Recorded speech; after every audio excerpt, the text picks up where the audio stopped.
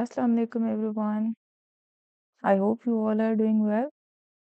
So in this video we will be talking about the CPU and microprocessors and you are watching CS by SS. So let's get started. So our agenda of this lesson will be uh, what is CPU and its components. Then we will be talking about microprocessors, von Neumann, Neumann architectures in detail Then we will be talking about what are the registers, buses, and fetch decode cycle in computer system. And at the end, we will be talking about what are the embedded systems and their disadvantages, advantages, and why it's required.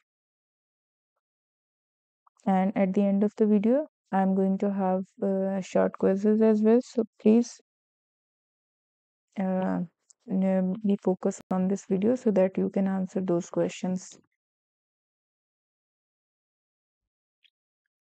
So, the first question is What is the role of the central processing unit in our computer?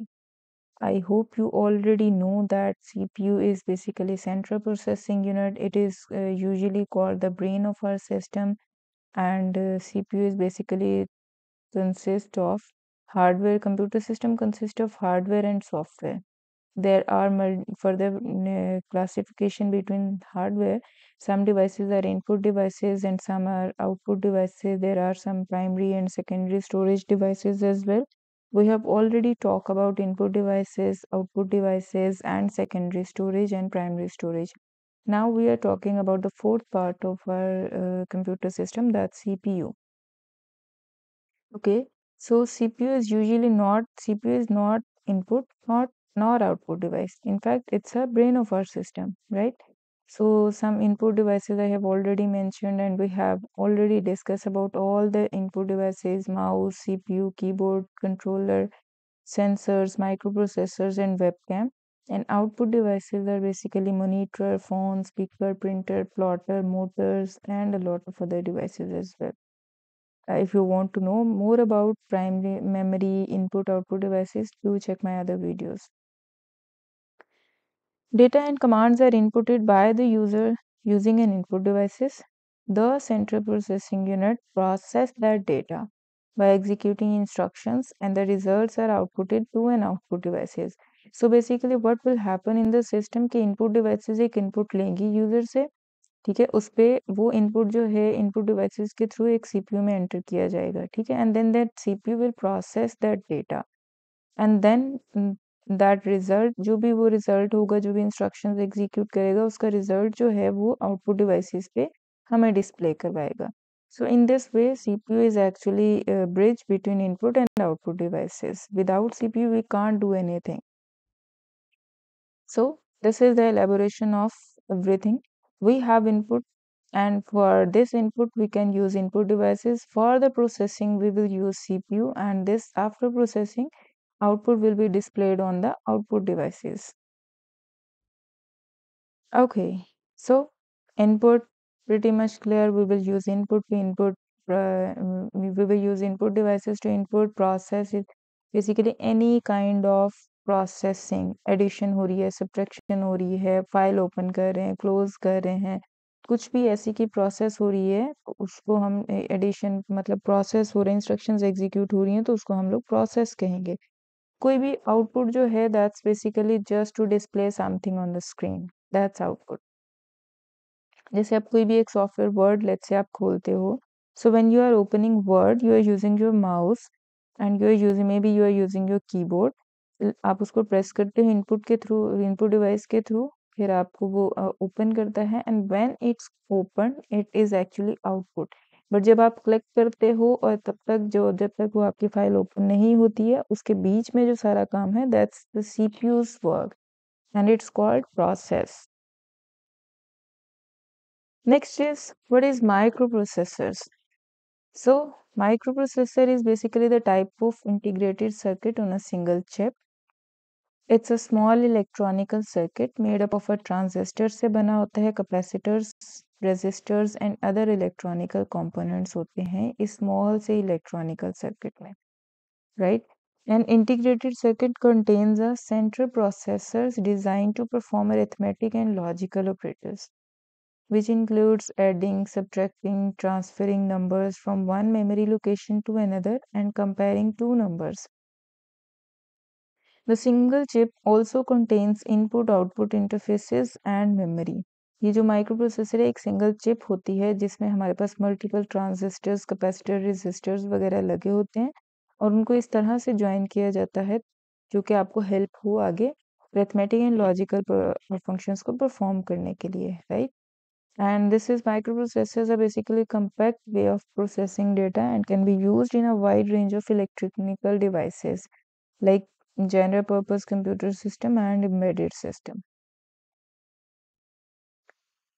Okay so there is a one question i have already asked just to show you that how am i going to assess your skill at the end of this lesson. So the question is what is the purpose of microprocessors? I have given four parts four options you can choose any one. Please comment their answers in the comment section i will let you know whether it's right or wrong Okay, so let's just see what is von Neumann architecture. So CPU uh, components in a CPU in a computer that has a von Neumann architecture and it developed the concepts of stored program computer in 1940s. This architecture basically must which most modern days computers means modern days computers are using this von Neumann architecture and is based on these three keys. What are these three keys? The first key is feature of this uh, architecture is stored program concept and von Neumann architecture is data and instructions are stored in the same uh, memory as a binary. Data and instructions are basically will be stored on the same memory in a form of binary. Another feature of von Neumann architecture is CPU fetches instruction from memory and executes them one at a time serially. And then CPU then store the result back into the memory. मतलब क्या होगा कि आप कोई भी instructions को execute करना चाह रहे हो तो वो मेमोरी में ही स्टोर होंगे रैम में and then CPU will access that memory to get that instruction and then उसको एग्जीक्यूट करेगा। One at a time okay and then जब प्रोसेसिंग कंप्लीट कंप्लीट हो जाएगी तो वो इंस्ट्रक्शंस को दोबारा से मेमोरी में ही डिस्प्ले करवाएँगे हम, और स्टोर करवाएँगे sorry next is there are multiple components of CPU right the main components of CPU is to execute instructions and process main purpose is to execute instruction and process data right And for that reason, we have two main components of CPU. The first one is control unit. The first one is CU, control unit, and ALU, arithmetic logic unit, right? The control unit controls the flow of data. Control unit just control will make sure that everything is under control. It will control the flow of data around the CPU and the control unit also sends control signals यानी everything related to the control आइर कि किस sequence में instruction execute होंगी, किस तरह से operant process होंगे, जिस तरह से इंस्ट्रक्शन डी कोड होंगी, किस तरह से टाइमिंग होगी हर ऑपरेशन की if you are doing multitasking तो किस टास्क को कितना टाइम मिलेगा?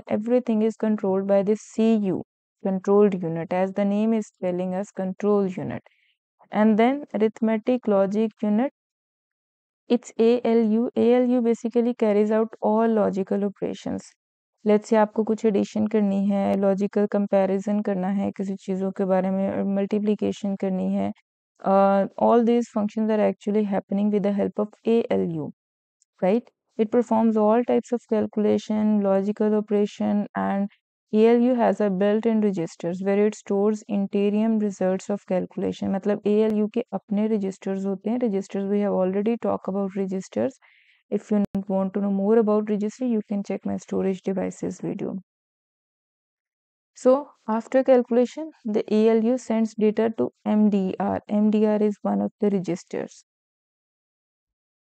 okay so this is the basically overview uh, or the visual representation of the components of the C CPU इसमें होता क्या है this is my CPU this is there are two parts this is my C, uh, control unit and this is my arithmetic and logical unit and here I have accumulator accumulator is a register right and these are also registers we can use for different purposes program counter memory address register memory data register current instructions register. These are also registers but used for different purposes. This accumulator will basically use to process ALU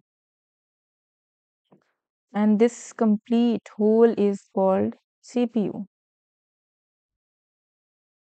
okay so let's just talk about registers in detail now again so there are registers and there are multiple types of registers in CPU. We have already uh, saw the visual representation. Now we will be talking about what are each registers will do.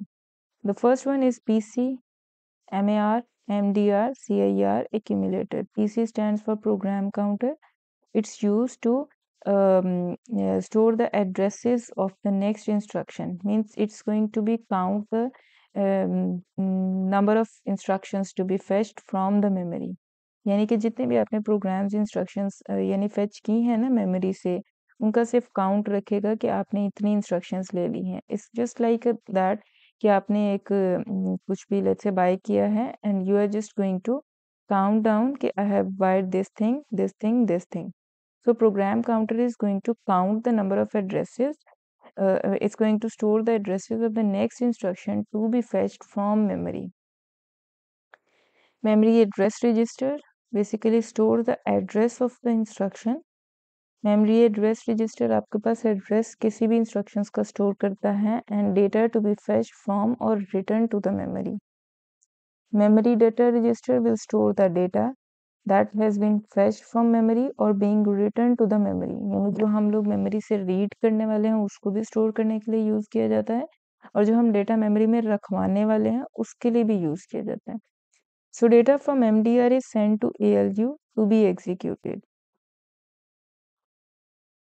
then then current instruction register, it store the instruction the cpu is currently decoding और executing accumulator Accumulator is a temporarily storage uh, stores the results of the calculation performed by the arithmetic and logical unit. I have already told you that ALU is basically it's in ALU unit और वो सिर्फ all the instructions which will be performed by ALU will be stored temporarily in the accumulator register. बाद में वो सारी instructions PC, MAR, MDR और CIR में जाएंगी but for the time being we will be using accumulator for this purpose.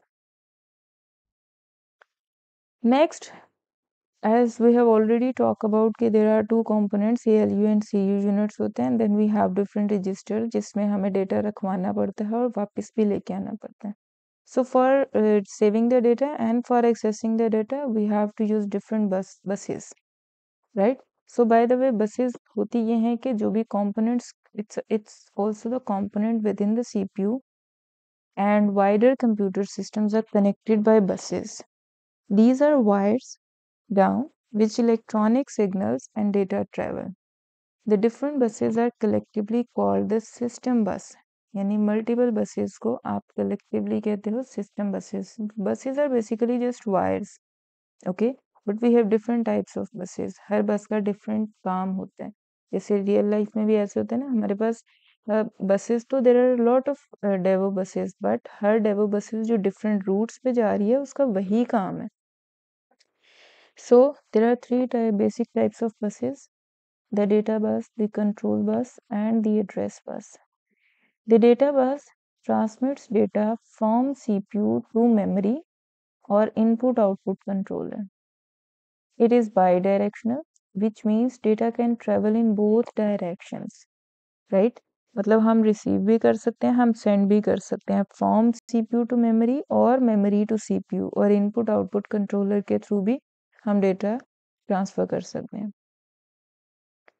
The address bus will transfer addresses from the CPU to memory मतलब ये सिर्फ़ एड्रेसेस को सीपीयू से memory तक पहुंचाएगा। It is unidirectional it's a unidirectional it's not bidirectional यानी कि सिर्फ सीपीयू से मेमोरी में जा सकता है मेमोरी से सीपीयू में वापस नहीं आ सकता which means addresses only go from the CPU to memory.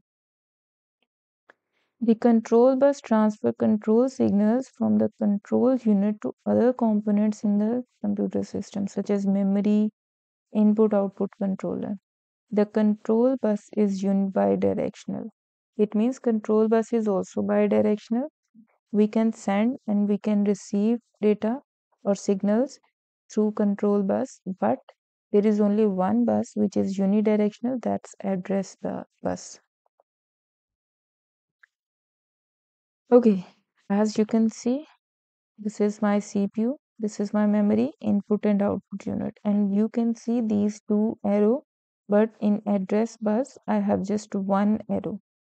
From CPU, I can get the data in address bus, and from address through address bus, I can give the data to memory or input output storage, but it's not bidirectional.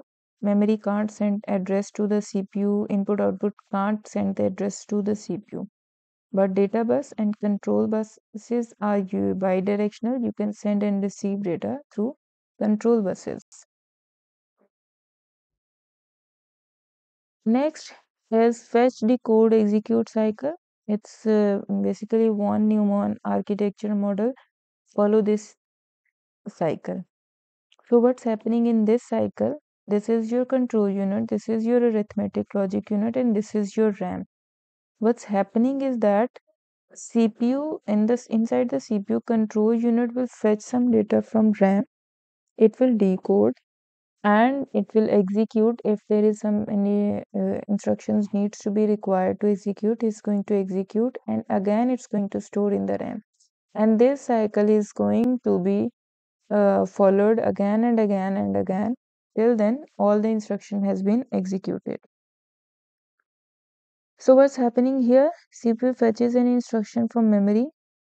Instruction is then decoded by the control unit into an opcode and operand then instruction is executed and the whole cycle is repeated with the next instruction in the process. And this slide is actually telling you in detail what's happening. Instruction address The memory address of the instruction to be fetched is stored in the memory address register and is set down to the address bus. The data at the memory address is transferred back to the CPU via the data bus. When it is stored in the memory data register. The instruction is copied into the current instruction register and the program counter increments. Decode instruction in the current instruction register is decoded by the control unit into an opcode and an operand. Operand means what function it needs to be required and opcode जो उसके operands हमारे पास होंगे operations need to be performed. Execute. The instruction is executed by ALU. The opcode is performed upon the operand. Let's say कि आपको कुछ दो numbers को add करना है so x and Y is your operand but addition is your opcode. The result is stored in the accumulator or written to a memory location within memory. Okay, so next point is so see we are uh, always following fetch decode execute cycle because most of our New systems are following von Neumann architecture, so there is a tip for CPU performance. There are three key factors that affect CPU performance the number of cores in your CPU, the cache size, and clock speed. You need to able to identify these factors and explain how they affect to the computer's performance. CPU units have multiple cores. आपने जब भी कभी market में bye करने जाते होंगे laptop so you must have saw that they this is dual core and two core and four core laptop so it's actually will help us to process our system or uh, process the instructions effectively right so a dual core process has basically two core quad core have four cores and each core run separate fetch decode execute cycle यानी आप, इसकी example ऐसी है कि पहले आप दो चीज़ों से काम कर रहे थे now you are working with the four things and definitely four things are faster than the two things right independently from one and other at the same time meaning parallel processing can take place multiple core enable multitasking it can not be split between cores The more core on a computer has, the more instruction that can be executed per seconds. जितने ज़्यादा core आपके system में होंगे your computer can process the instructions in a better way next is clock speed the clock speed is basically how many instructions the core can execute each second the clock speed is measured in hertz modern core can execute billions of instructions per second a gigahertz is a billion instructions per second a megahertz is a million instructions per second A CPU core with a clock speed at 3.4 GHz can execute 3.4 billion instructions per second.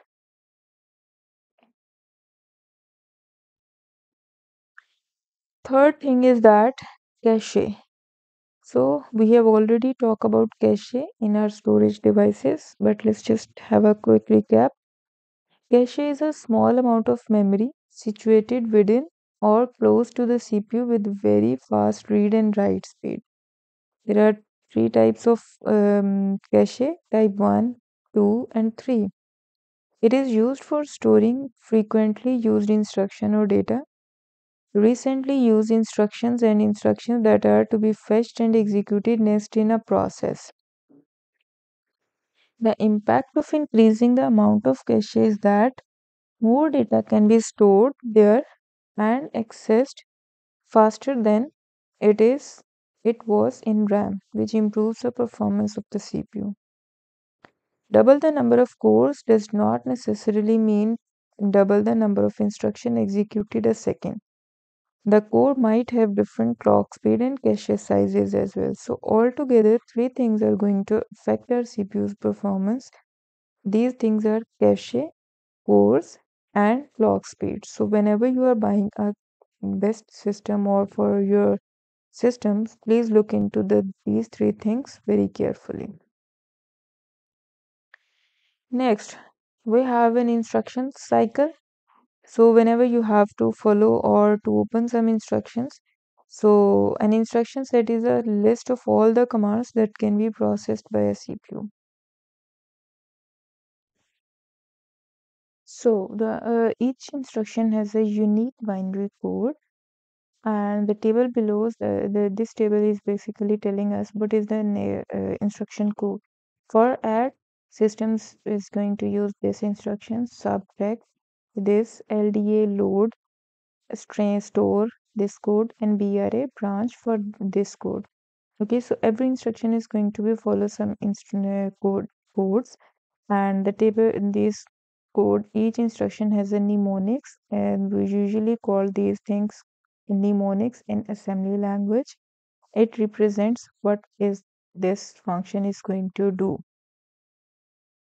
after an instruction is decoded into an opcode and an operand the cpu finds the opcode in the processor's instruction set. If then it then knows what operations to perform when executing the instructions. So Instruction list. This means a program creating using one computer's instruction set would not run on a computer containing a processes made by a different manufacturer. For example, a computer program created using Intel instruction set would not run on a device containing an ARM processor. So that's why processors needs to you should know what is the processor and what instructions it's going to be followed because Intel instruction set would not be followed in the ARM processors because different code has been used in different instructions.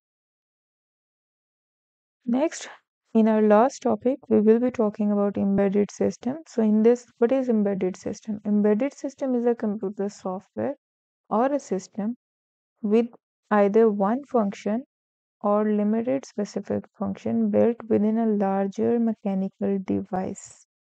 It can be a one function or limited spe- uh, specific function for a larger mechanical device. Its purpose is to control the device and allow a user to interact with it. It runs on firmware and does not have additional peripherals. An embedded system is different to a general purpose computer systems like a laptop or desktop computer which can be used to perform many different tasks. The vast majority of microprocessors manufactured are for use as embedded system. Some embedded systems micro, are microcontrolled microcontroller meaning they are part of an integrated circuits with built-in memory. Embedded system usually have some form of analog or digital input. So there are two types of micro uh, embedded system, microcontroller and microprocessors. Microcontroller basically integrated circuit containing a CPU and memory built into the same chip. Microprocessors integrated circuits containing only a CPU on the chip. It can have RAM, ROM peripheral needed to be added. See, this is your input device and this is your um, microchip or hardware and this is your built-in system and with this built-in system you can have a RAM and ROM as well and then you are having output devices. Okay. So embedded system we have a lot of embedded system digital clock traffic light lightning system security system vending machine central heating system and they have possible input devices and possible output devices for digital clock we can have button to set the time mode and alarm and for uh, possible output we can show screen showing the time alarm for traffic lights, we can use pedestrian button, timer, movement sensor, and for output, there is only light. Lighting system, we can use movement sensors and output will be light. Security system, keypad to enter alarm code, camera, movement sensors, and output will be alarm. Vending machine, we can use keyboard to make choices, but actuator controlled movement of choice. Central heating system, keypad to set temperature and temperature sensors and possible outputs are heat. So see different embedded systems are used for different uh, purposes and according to that we have an input and output devices. So there are multiple advantages of using embedded systems. Uh, some I have mentioned over here like low power consumptions, small physical size, low cost to manufacture, they can be controlled remotely and can operate in real time and respond to input very quickly.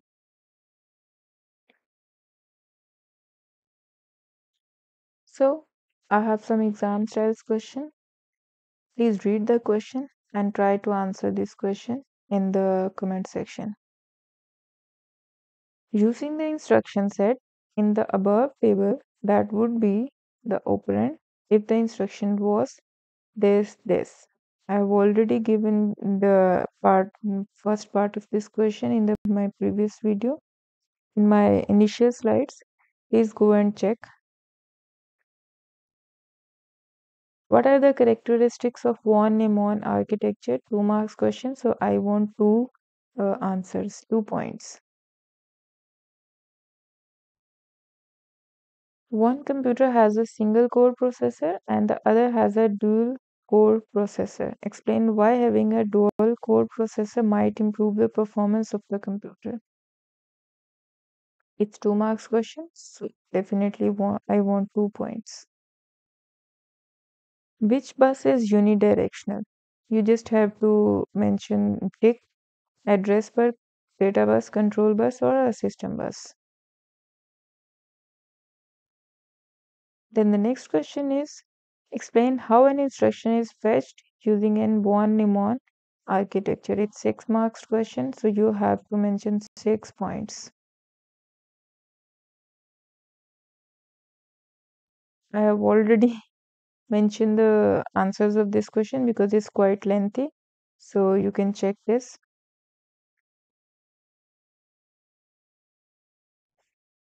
Last but not the least, so describe how an embedded system controls a washing machine.